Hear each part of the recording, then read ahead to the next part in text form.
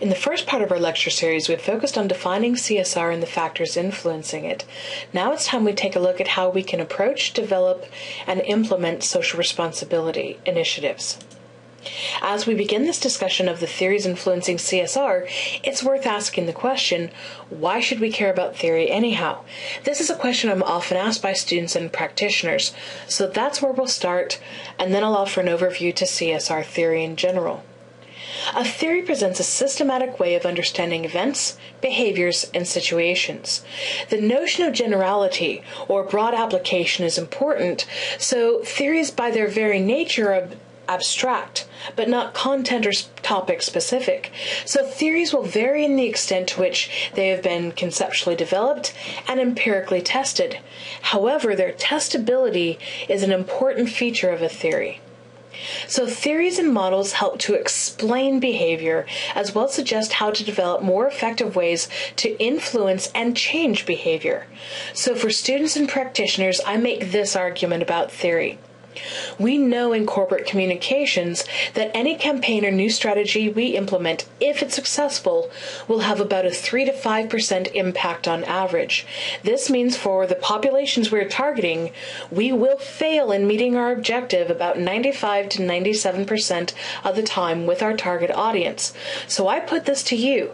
If we can better understand the factors that influence people's attitudes and behaviors, we can better predict their reactions to our campaigns. This means we can improve the success rates for all of our campaigns. In short, it's in our own best interests for improving the return on investment to use theory to guide our strategy. Why? Because good theory represents verifiable and predictable ways that people react and behave in certain circumstances. So, if we understand theory, we can be better practitioners. There are two broad types of theory explanatory theory and change theory. These may have different emphases, but they are complementary. For example, understanding why an employee smokes is one step towards a successful cessation effort, but even the best explanations won't be enough by themselves to fully guide change to improve health. So, some type of change model will be needed. Both explanatory theories and change theories are rooted in understanding the social determinants of behavior. Many social, cultural, and economic factors contribute to the development, maintenance, and change of behavior patterns. So the challenge with theory is that there are a lot of them that we could relate to any particular set of objectives that we're trying to create in practice.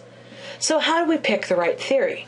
Well, first, understand that there are likely to be multiple effective theories that we can use. If you're aware of the theoretical options that influence your fields of practice, use a purposeful process to select a theory. If you're strategic about it, then you'll pick a theory that makes sense for the problem that you're trying to solve. I like the emphasis on a strategic and aligned process to theory selection because in CSR, in particular, there are more than 25 theories specific to CSR and loads more that could be used depending on the particular organizational context that we're talking about. But it's helpful to start with some academic efforts to classify CSR theories. There are three articles that I've found that are really helpful in this respect. So let's go through each of these classification approaches because odds are you'll find one that's most helpful for your work. We'll begin with Klonoski's classification of CSR theories.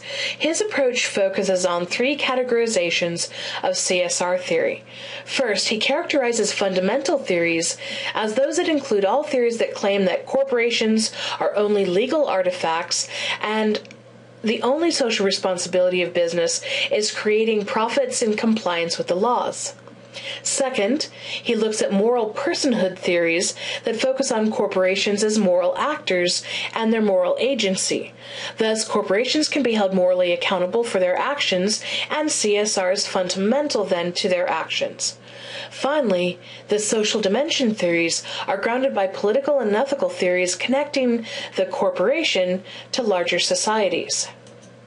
Second, Windsor argues that CSR was still quite contestable and focuses on theories that emphasize different dimensions. For him, there are three perspectives that focus on factors underlying social responsibility. First are theories that focus on ethical responsibility, highlighting strong organizational self restraint, and emphasize theories that focus on altruistic duties and expansive public po- policy in order to strengthen stakeholder rights.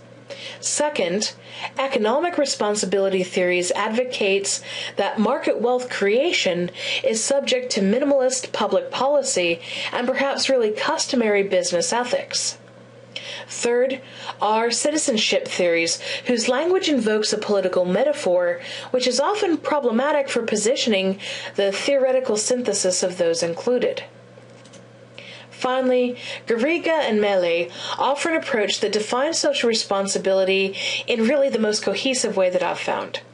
We'll use this perspective because instead of focusing on some awkward or even limited classifications like the others, these four groupings emphasize four different aspects of social realities that organizations face. In short, I think these highlight some of the critically different aspects of social responsibility, making this categorization really useful for people who are trying to match theoretical perspectives and their organizational realities. So it's important to note that each of these four perspectives are variations on the theme. So once you perspect once you select a perspective, it's important to select a particular theory within that perspective. You can't just articulate an overall perspective that corporate social performance is your theory. It's not. There are particular theories within each of these. And in the next four lectures, we will highlight what each of those theoretical categories actually means.